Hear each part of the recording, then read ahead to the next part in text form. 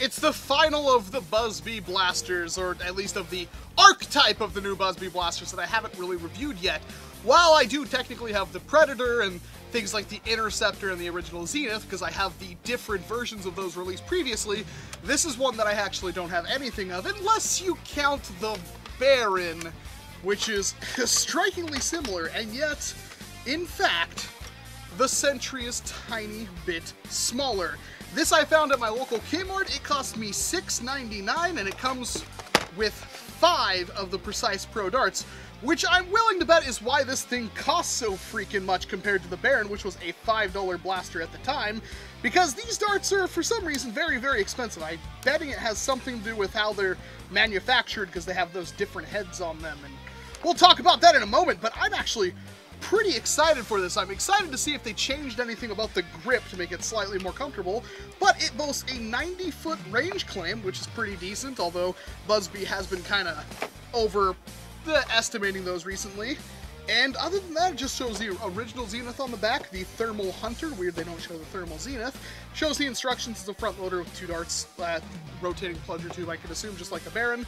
And really nothing else about it. It's compatible with all darts because it's a front loader, that makes sense. And we're just going to open this sucker up and pull out the blaster itself, which is a little hard because of these twist ties. Alright, here's the blaster itself, and uh, the grip is slightly thicker than the Baron's, which helps, but it's about the same length. It's not terrible. This nub right here already bites into my hand. This thing is meant for toddler hands. This does not fit all that well. The Baron is usable.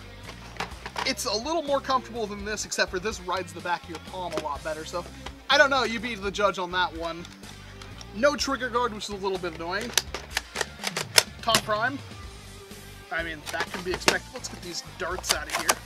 If it's anything super awesome, now I have played around with the internals on the Zenith, and I am very impressed with that, although the turret is your biggest obstacle on the Zenith.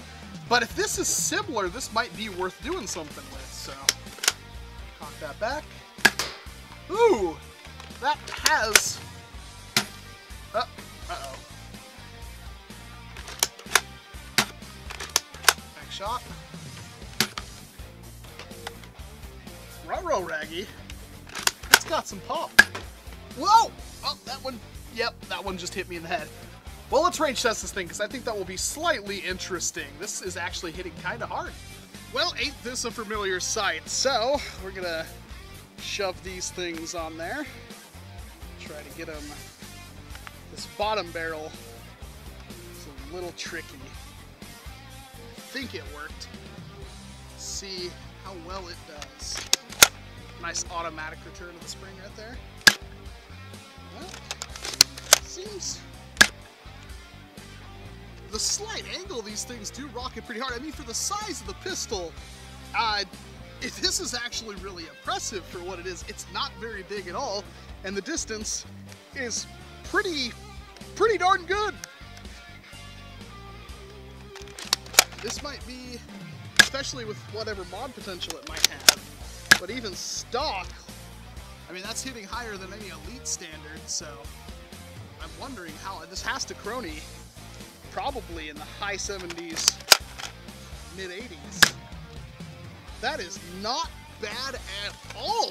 Again, this thing is rather compact, so, and it's thin too. There, there might be something going on with this thing. Again, only two shots, but two shots is better than one. And that's a lot of draw for how big that plunger tube could be.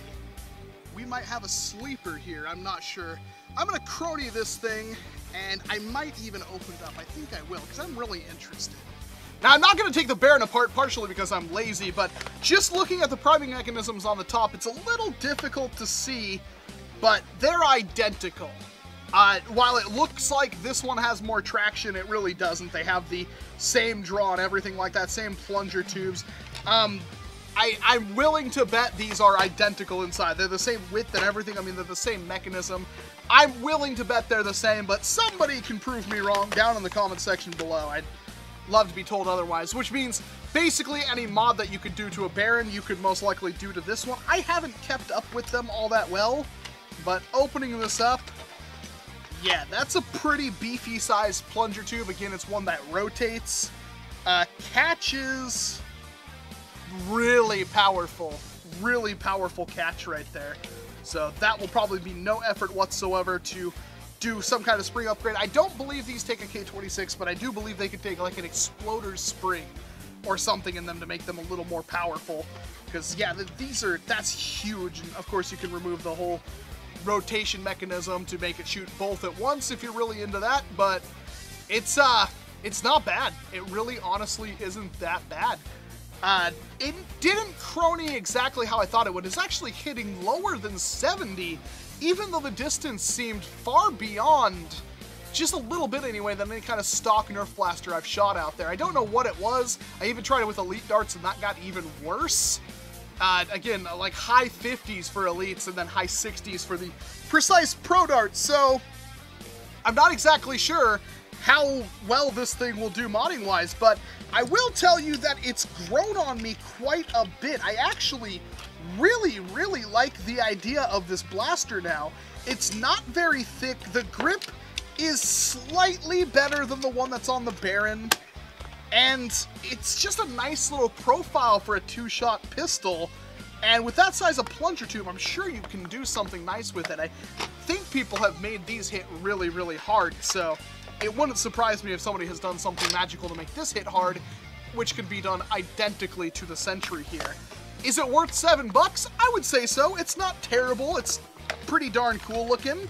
Um, I've actually, I was pretty tepid when I first got this out of the box, but now that I've played with it a little bit more, I'm a bit more of a fan of the Sentry here. It's going to be a little difficult to holster with the top priming slide right there, but the overall profile, the way it handles, I do like the Sentry, and if you're into this kind of thing, I might be able to recommend it. I might mod mine in the future, so you may see this one again, but let me know if there's some kind of crazy Baron mod out there, because I'm willing to bet they're identical. In fact, I'm sure Brett or somebody can tell me they're identical inside by the looks of it. Um, just by looking at the plunger, uh, the uh, priming rod, I can tell they're probably the same inside, but I'm rambling at this point. That is my review and testing of the Buzz B Air Warrior Sentry. Let me know what you think down in the comment section below. I would, again, love to hear what you think this thing can do. Otherwise, this has been Walcom at Seven's Hands. Thank you very much for watching this video, and of course, I hope to see you in an entirely different one. Or one involving this again sometime in the future.